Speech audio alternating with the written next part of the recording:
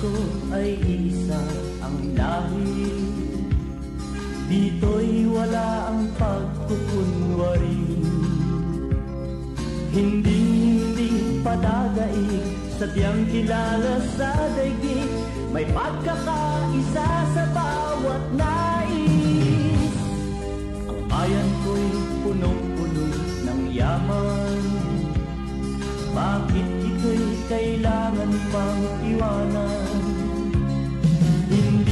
ba't anong sarap Mabuhay ng buong ganap Sa bayan mo, sumabit man yaong wakas. Dito sa bayan ko, lahat kami pantay-pantay.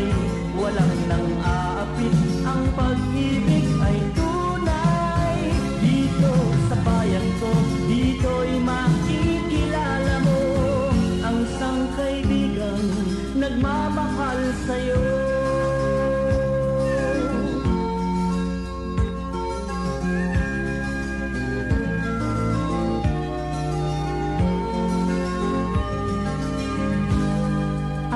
bayan ko'y punong-puno ng yaman.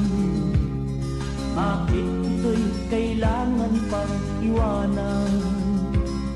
Hindi nga ba't anong sarap Mabuhay ng buong ganap Sa bayan mo, sumapit ng yaong wakas. Dito sa bayan ko,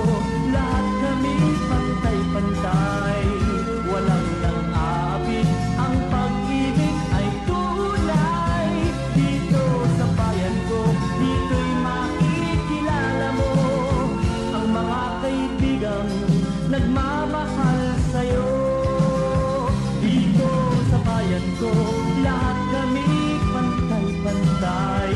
Walang nang aapit, ang pag-ibig ay tunay. Dito sa bayan ko, dito'y makikilala mo. Ang isang kaibigan, ang mga kaibigan Ang bawat kaibigan na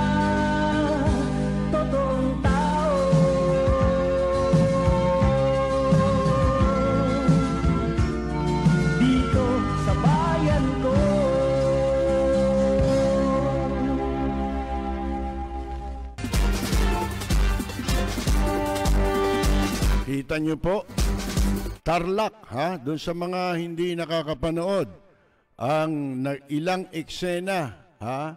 Ang ilang kuha mula po sa ginanap na rally ngayong araw sa lalawigan ng Tarlac, sa Kamiling yata yan, ano ho? Ah, yung mayor dyan eh, lahat ng klaseng panggigipit, ha? Ay ginawa pero hindi ho nagtagumpay. Yan ang sinasabi, kailangang ipaglaban ng mga botante ang kanilang kapangyarihan. Hanggang saan? Hanggang sa pagkatapos pa ng eleksyon. Sapagkat hindi natin alam, di ba? Katulad nung kinukwento ko sa inyo kagabi, na tapos na ang snap election ay nagdaos pa ng rally ang mga mamamayan. Nagpunta sila sa Luneta. Ha?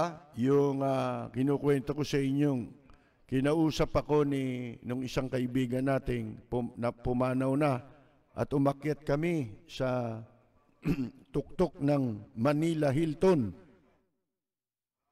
para aming matunghayan ang pagdaloy ng mga tao sa Luneta kasama ang mga anak ng mga magulang.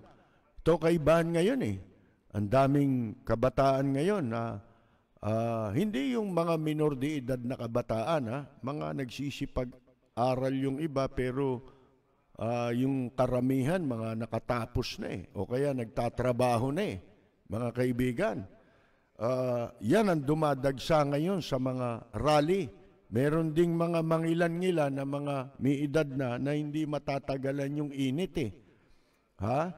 Eh hindi naman kasi basta madali yan. Kaya nakita ninyo pag sa rally nung kabila, mga kaibigan, eh umuwi na tao, di ba? Naiinip na.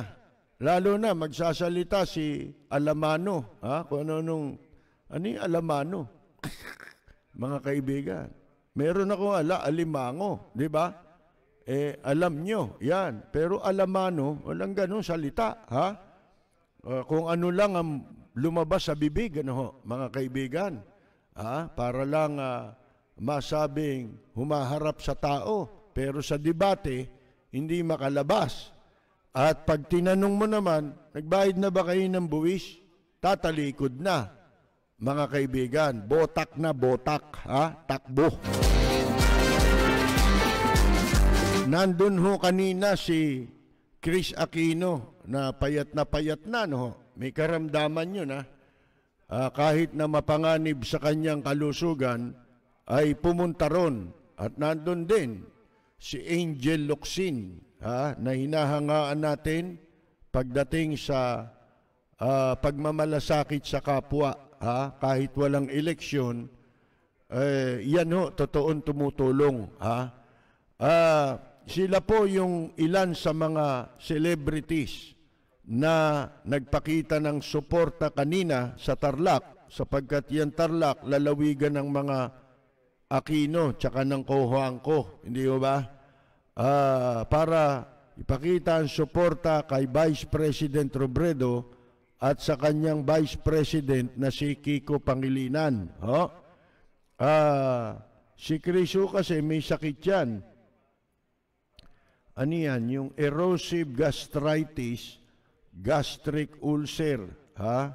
Ayan, ang karamdaman ni Chris. Pero makikita ninyo, payat na payat. Madalas nga ito, nagpapagamot sa ibang bansa. Hindi ho ba? Ah, umaalis para magpagamot.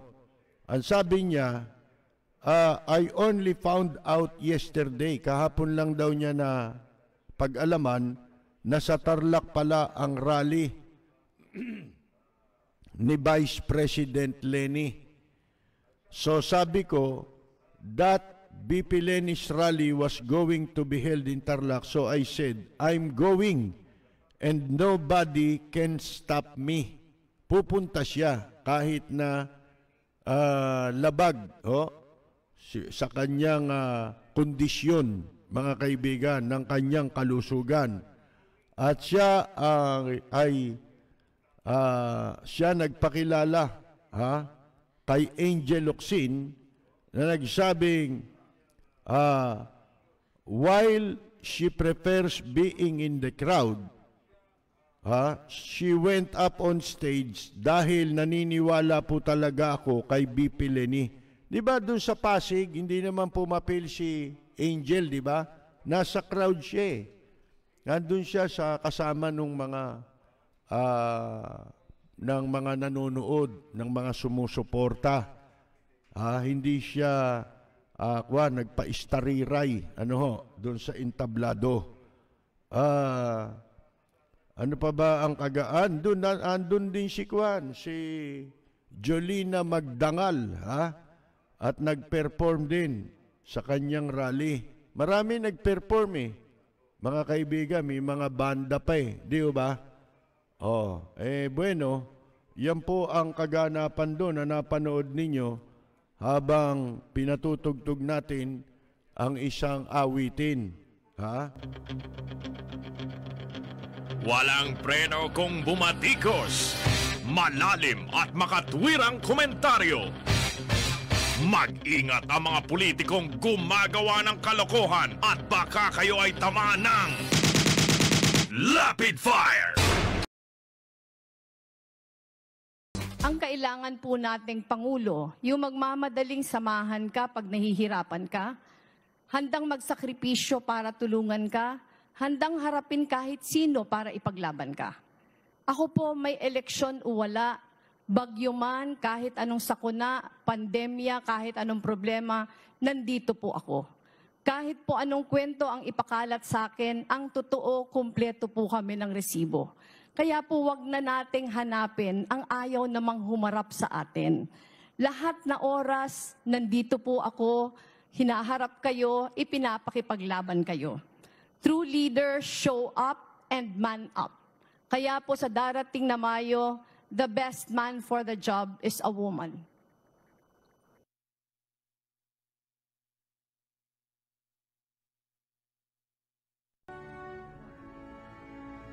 Bakit importante ang 2022?